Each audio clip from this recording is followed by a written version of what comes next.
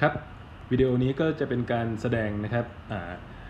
การพิสูจน์ความสัมพันธ์ในรูป derivative ของ thermodynamic potential แล้วก็ Maxwell relation นะครับ ก็เริ่มต้นจากนะครับนิยามของตัวพลังงานภายในนะครับที่เราเขียนตามกฎข้อที่ 1 ว่านะครับพลังพลังงานภายในเนี่ยจะถูกใช้ในการที่จะปลดปล่อยความร้อนและทำงานของระบบนะครับ ซึ่งเขียนได้เป็นสมการคือ du เท่ากับ dq ลบ dw นะครับ ซึ่งเราก็สามารถที่จะเขียน dq หรือความร้อนนะครับในรูปของ entropy ได้ว่าเป็น tds นะครับ แล้วก็สามารถเขียนงานในรูปของ pdv หรือความดันคูณปริมาตรที่เปลี่ยนไปได้นะครับ ทีนี้นะครับลองสังเกตดูดีๆว่านะครับการเปลี่ยนแปลงของ du นะครับ การเปลี่ยนแปลงของ u หรือ du นะครับ มันขึ้นอยู่กับการเปลี่ยนแปลงของตัวแปรอีก 2 ตัวคือ s กับ v ใช่ไหมครับ คือเมื่อ s เปลี่ยนแปลงคือมี ds เมื่อ v เปลี่ยนแปลงคือมี dv เนี่ย ก็จะทำให้เกิด du ขึ้นนะครับ ดังนั้นตรงนี้เราจึงสามารถที่จะบอกได้ว่านะครับ u เนี่ยนะครับเป็นฟังก์ชันของ s กับ v นะครับ ทีนี้นะครับในเรื่องของ derivative เนี่ยนะครับ ถ้าเรามีฟังก์ชัน 2 ตัวแปรเช่นนี้เนี่ยนะครับ เราต้องการที่จะ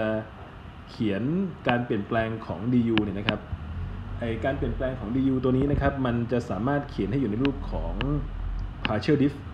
นะครับหรือการเปลี่ยนแปลงเทียบกับ ds นะครับ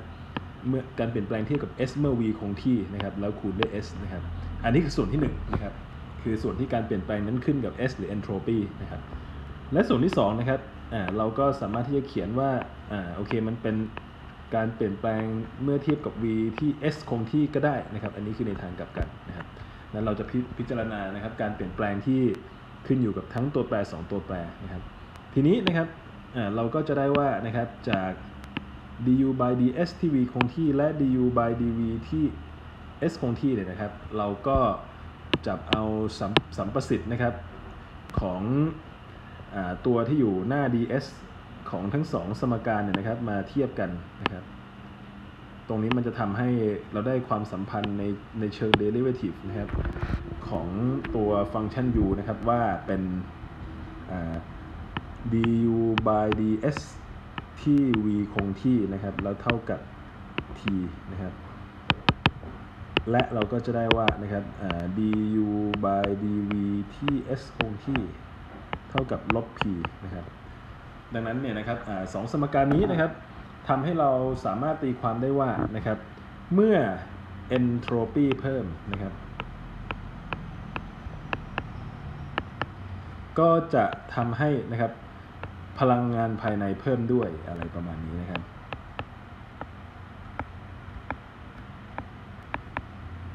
แต่ในขณะเดียวกันนะครับเมื่อเรา มาดูอีกสมการหนึ่งนะครับ du by dv ที่ s คงที่ได้ได้ค่าลบออกมานะครับ ดังนั้นเราก็จะบอกว่านะครับเมื่อปริมาตรเพิ่มนะครับตัวพลังงานภายในจะลดลงอะไรประมาณนี้นะครับ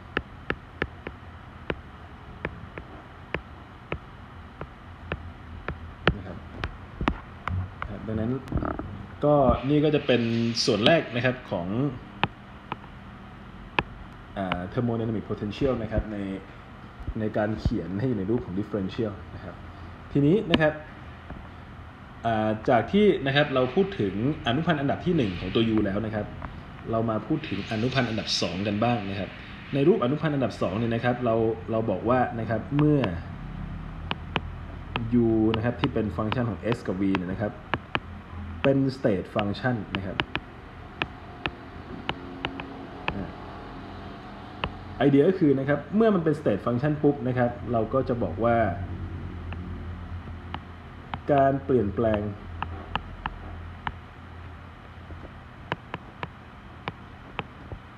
ของ u นะครับ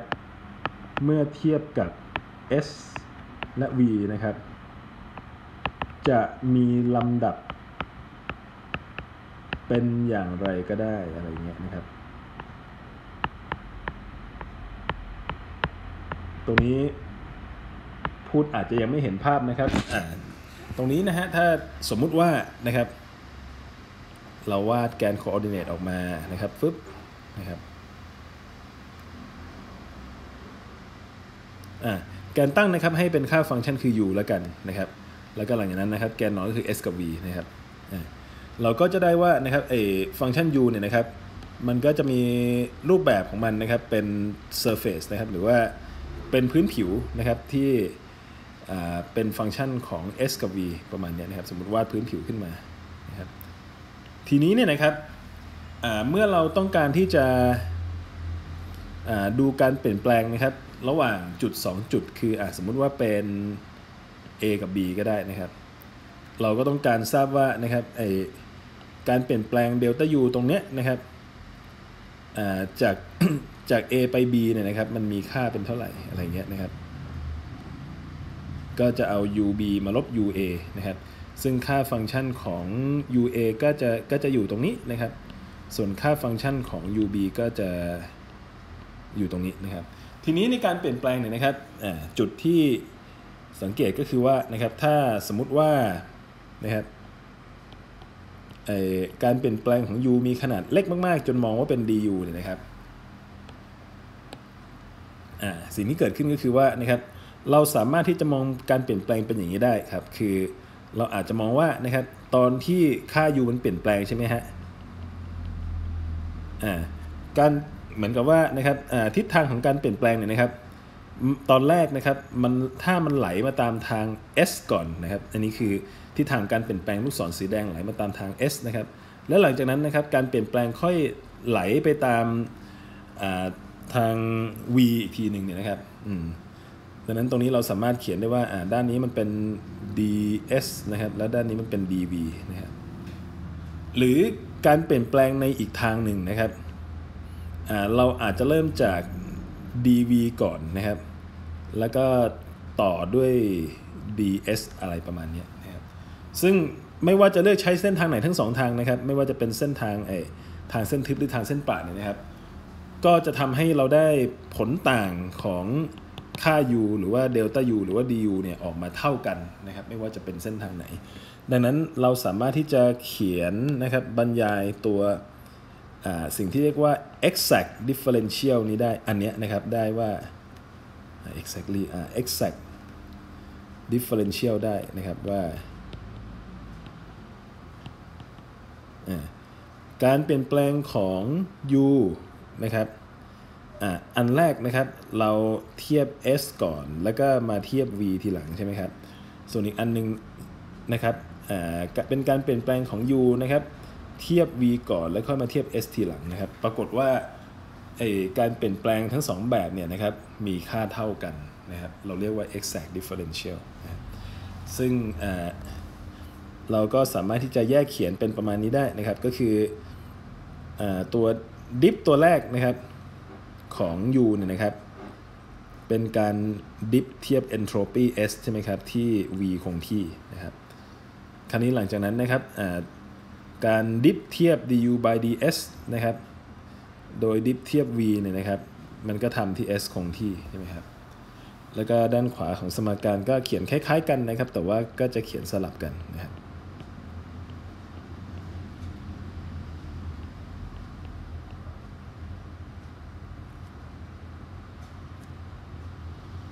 ประมาณนี้นะฮะ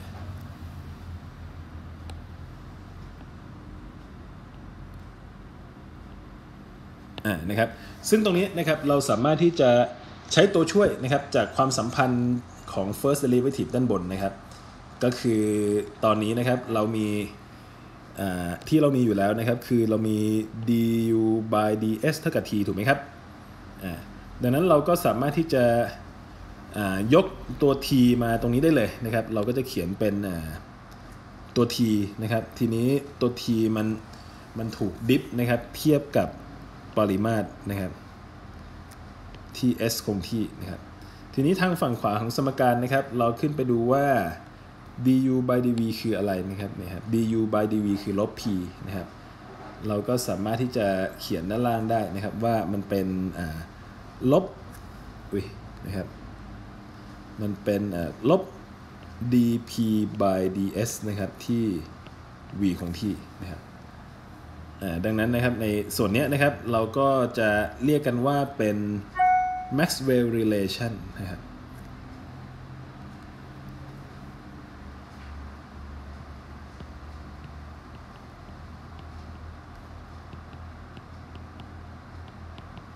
ของพลังงานภายในนะครับ ก็จะได้สมการออกมาดังแสดงนะครับ